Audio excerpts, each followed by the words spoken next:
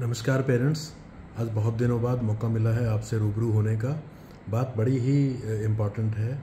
मुझे ये जानकारी मिली है कि बहुत सारे बच्चे आ, स्कूल के बाद शाम को ट्यूशन्स पे जाते हैं और उसमें शायद बड़ी क्लासेस के बच्चे शामिल हैं कक्षा छः से ऊपर के। मेरी आपसे पहले भी दरख्वास्त थी आज भी एक रिक्वेस्ट है।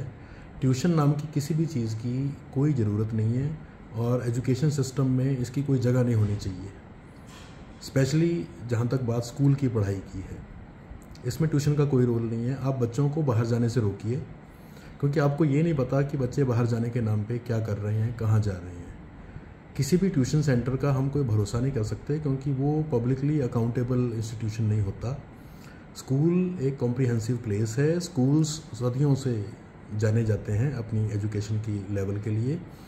मैं आपको ये बात कहना चाहता हूँ कि अगर बच्चे ने स्कूल में अच्छे तरीके से पढ़ाई करी है छः घंटे वो रहा है, और उसके बाद उसी चीज़ की अगर वो घर पे जाके रिवीजन करेगा, जो कि बहुत ज़रूरी है सेल्फ स्टडी करेगा तो उसका पढ़ाई का कोटा पूरा हो जाएगा और उसे कुछ करने की ज़रूरत नहीं है। जो चैप्टर स्कूल में क्लास में टीचर ने पढ़ाया है, बच्चा उसे घर पे जाके खुद पढ़े रिवाइज़ करे, जो भी उसके डाउट्स हैं उनको वो लिखे नोट्स बनाए अपने, इतना काफ़ी है एक दिन की पढ़ाई के लिए, और इसी को ही पढ़ाई कहते हैं। स्कूल में पढ़ना, फिर उसके बाद ट्यूशन पे जाना, फिर आके थक के सो जाना, या बड़ी मुश्किल से होमवर्क पूरा करना, ये खाली पढ़ाई नहीं है।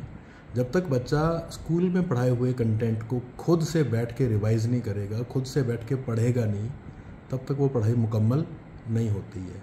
मेरी आप सबसे ये विनती है, ट्यूशन के नाम पे समय की बर्बादी, पैसों की बर्बादी और मेहनत की बर्बादी बंद करें। वही समय, वही मेहनत, बच्चा घर बैठ के खुद पढ़े, अपने आप पढ़े, उसे किसी और पढ़ाने वाले की ज़रूरत नहीं है। हम स्कूल में इतना उसे पढ़ा के भेजते हैं कि वो खुद बैठ के पढ़ सके। कोई डिफ़िकल्टी है, वो होएगी भी। उसी के लिए तो खुद पढ़ना है कि डिफ़िकल्टी पता चले क्या डिफ़िकल्टी है। और अगले दिन क्लास में बच्चा उस डिफ़िकल्टी को टीचर से बात करे, टीचर से पूछे और टीचर उसका सॉल्यूशन प्रोवाइड करे। पेरेंट्स बार बार आपसे मैं ये विनती करता हूँ, ट्यूशन के नाम पे आप समय की और पैसों की बर्बादी बंद करें, बच्चों को ट्यूशन भेजने से रोकें। अब हाफ़ ईयरली एग्ज़ाम आने वाले हैं, कहीं फिर से एक भेड़ चालना शुरू हो जाए, बच्चे को ट्यूशन सेंटर पे भेजने की।